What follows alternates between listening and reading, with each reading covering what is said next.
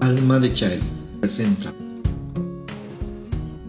Querido yo, ya que hoy volví a ver a la musa que dio nacimiento a las palabras de Alma de Niño, he decidido compartir contigo uno de mis poemas en esta carta y dice así.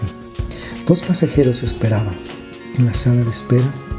Ambos estaban con muchas ansias porque pronto llegarían a su destino, pues estaban en escala Estambul con destino Ámsterdam. Uno de ellos era una fina dama de cabello planchado con enorme sonrisa, una mochila de mano de equipaje, audífonos inalámbricos, al parecer música disco de los 80 oía o probablemente David Garrett, pues se le veía solo mover la cabeza cual baile se veía.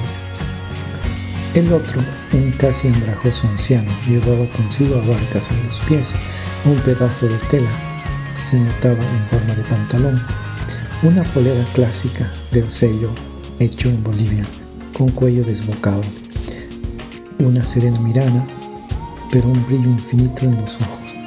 Escuchaba también audífonos wireless, al parecer una triste o melancólica melodía, que se exteriorizaba a través de sus cejas tristes. Sentados unos al otro, inevitablemente ambos intercambiaron un hi, y pronto empezó una pequeña discusión. La hermosa pasajera reclamaba que su mano ocupaba mucho espacio incomodándola.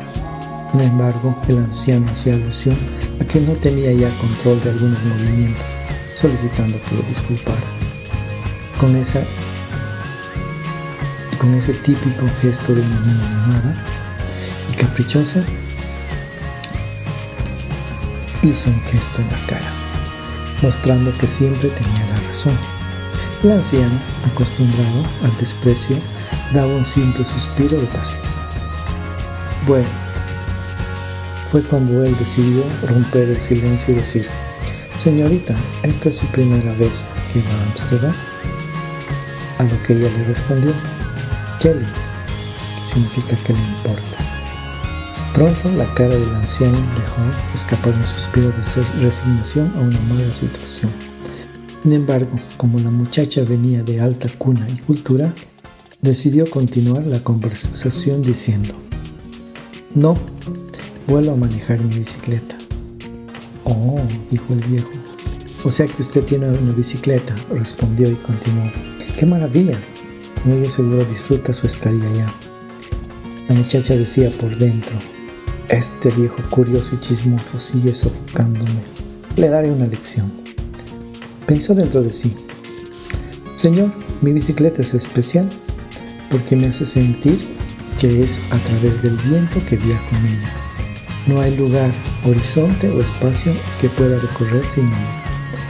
El anciano meditó un segundo y dijo, usted es muy inteligente y libre, por lo que me alegro mucho por usted, que escogí el mejor medio de transporte. ¿Puedo decir algo? dijo el viejo con ternura total. ¿Qué? respondió la irritada muchacha viajera. Yo no necesito de la bicicleta, dijo el anciano. Yo puedo viajar donde quiero, en alas de águila real. Este me transporta más allá del infinito y finito conocido por hombre mortal. Me, gusta, me gustaría compartir mi medio de vuelo con usted.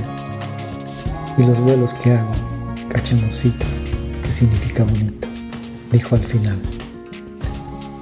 La muchacha pensaba, este Paco, que significa hablador, es un hechicero charlatán. ¿Qué cuento me contar ahora para sacarme mil dólares? Fue cuando sonrió y respondió, perfecto, lléveme con usted un viejito, ¿cuánto debo pagar? Le dijo tenazmente. El señor la miró a los ojos y le dijo, este ticket de viaje no tiene precio. Su único requisito es el amor que usted sienta por mí. Es decir, la elección de la abundancia de su corazón y no de lo que le sobre para dar. No se basa en lo físico, porque eso es efímero y vacío. Es un amor que se construye en equipo, de trabajar juntos por un fin común. La muchacha encolerizada y roja de rabia dijo, ¿qué se ha creído usted? Yo puedo pagarme cualquier viaje y no necesito de usted. Es más, usted hasta parece indocumentado y homeless. ¿Cómo puedo amarlo? Usted es feo y su primera impresión es horrible. Quiero sentir mariposas en el estómago y ganas de presentarlo a todos, pero usted me da asco. El anciano tiernamente la miró y dijo, Perdón, señorita, creo que la ofendo. Mejor sigamos camino a Amsterdam. Que allá nuestros caminos se separan, a lo que la joven asintió tranquila con la mirada. Lo que la muchacha no sabía es que este viejo era un viajero del tiempo, cuyo ticket nunca expiraba. No tenía fronteras, ni dimensiones, ni tiempo que lo detuviera, pues este ticket era el amor puro, que da la libertad infinita entre siempre, jamás y más allá.